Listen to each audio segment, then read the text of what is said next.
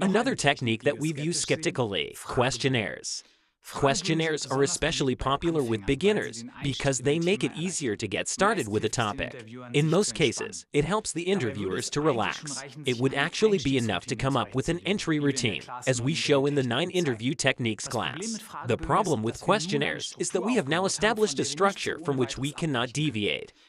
We tend to work through questions from top to bottom, and in the process, we listen less and less to what the interviewees tell us. These casual remarks, which should make us alert and which we should follow up on.